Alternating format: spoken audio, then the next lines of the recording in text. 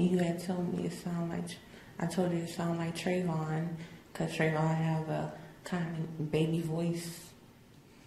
You it? Okay. So the question is, well, who is screaming for help? It's not Trayvon, is it?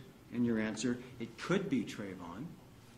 And the question, you know his voice so well. Was that Trayvon Mart, was that Trayvon screaming for help or wasn't it? Your answer, it could be. Like I said, I don't know, but it could be. The dude sound kind of like Trayvon. Trayvon do got that soft voice and that baby voice sometimes. So it could be, I don't know, you know it's not. And that's the end of the quote. Mr. Jones, we just heard that back and forth that first gave you the inspiration to do this study. What is it? What's going on there? What's the misunderstanding that you hear in that? Well, so there are a number of things that I found interesting uh, watching this unfold on television. Uh, the first was the fact that she was very clearly speaking in what linguists refer to as African American English, which is a rule governed systematic dialect. Um, the second was the fact that her testimony or what she said in a deposition earlier was being ostensibly repeated back to her verbatim and used against her. And as I watched throughout the day, because she was on the stand for a very long time during the day, um, it became clear to me that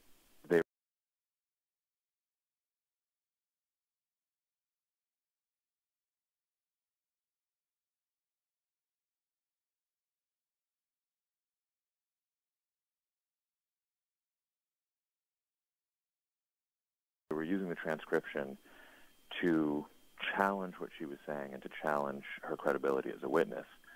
But it wasn't entirely clear that the transcriptions were always accurate or even made sense in African American English or otherwise. And so uh, this was the, the, man who is questioning her is Don West, and he is the uh, defense lawyer for George Zimmerman, who was found not guilty of having uh, in the shooting death of Trayvon Martin. So, what is it? What what is Don West getting out of this? What is he? What is he able to turn around and by by, I guess, misinterpreting what she is saying?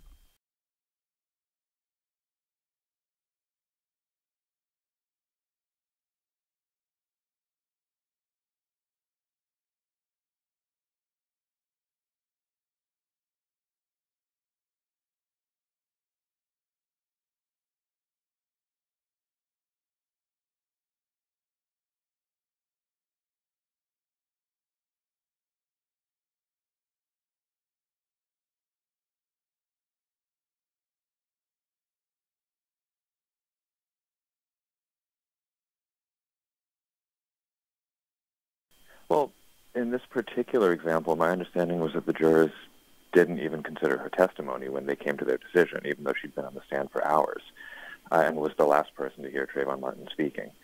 So, in that particular instance, uh, one of the things that he was getting out of that was harming the credibility of the witness. And so, how often do you think that this happens in trials? That's an excellent question, and at the moment, I don't have an answer, and I don't think anybody else has an answer for that. Um, the study that we recently did suggests that transcription accuracy may not be as high as mm-hmm. uh, we usually expect it to be. And what we'd like to do is get a better idea of how widespread this kind of miscommunication or misunderstanding is. Let's talk about your study that you did with Philadelphia court reporters. And what, what did you learn about how they interpret the, the language of African Americans?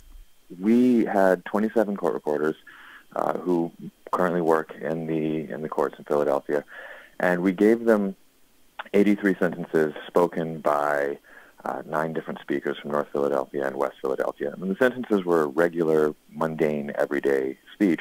But they did have grammatical features of African American English, and they were spoken by people who have African American Philadelphia accents.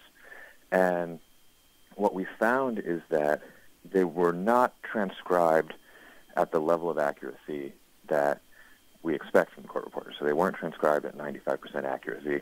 That seemed to be in part related to familiarity with the dialect and familiarity with the accents. What were some examples of phrases that, that were misinterpreted? Uh, so, one example that really stood out to me was uh, he don't be in this neighborhood, which is uh, he don't be in this neighborhood. And that has a very specific meaning where the be marks habitual action. So he don't be in this neighborhood or he don't be in this neighborhood means he is not usually in this neighborhood. Um, that was transcribed multiple times by different court reporters as he'll be in this neighborhood, as in like he will be in this neighborhood. So it changes the meaning completely. I noticed that uh, in the list, the phrases from the test, there are a number of, of them that use double negatives in them, like nobody never say nothing, which means nobody yeah. ever says anything. So, uh, so how often is that the case, where there's a double negative and then they can't sort of flip it around in their heads? That's an interesting question because people did generally very well with just double negatives, but not great with double negatives when there was any other feature of African American English negation combined with uh, what's called negative auxiliary inversion led to a lot of confusion. So that would be like, don't nobody never say nothing to them. And that was interpreted as a command rather than as a statement. So um, by a number of the, the court reporters. So it was um, sometimes it would be transcribed correctly, but the paraphrase would be something like,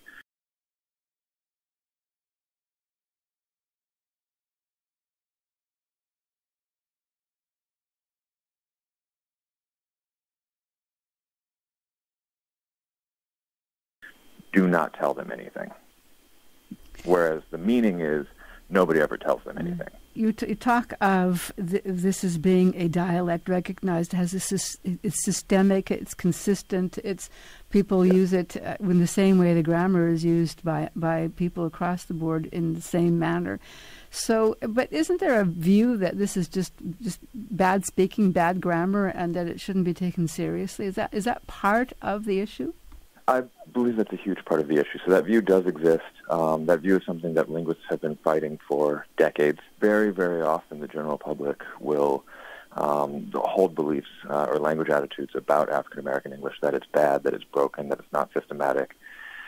And it's in part our job as linguists to challenge those and to correct those views. Um, so this is something that is pervasive, and it's also it's also wrong. If this is the case for court reporters, and I understand in your study you also found that uh, black reporters or, or, black stenographers were would mistranscribe this as well. So, what what are the consequences for people?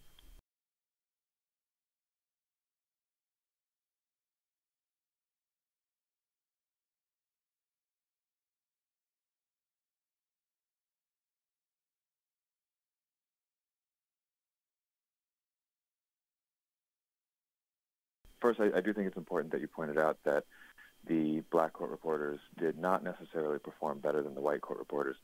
But the, the consequences for people can be really, really wide reaching. So what the court reporter transcribes becomes the official fact of throughout somebody's journey through the judicial system. For instance, depositions taken before trial can be admitted as evidence in cross-examination, as we heard at the beginning. But also, appeals are often decided based almost exclusively on procedure and on the transcripts. And so this is something that can really affect somebody at every stage of the process as they move through the judicial system. Very interesting. Mr. Jones, thank you. Thank you.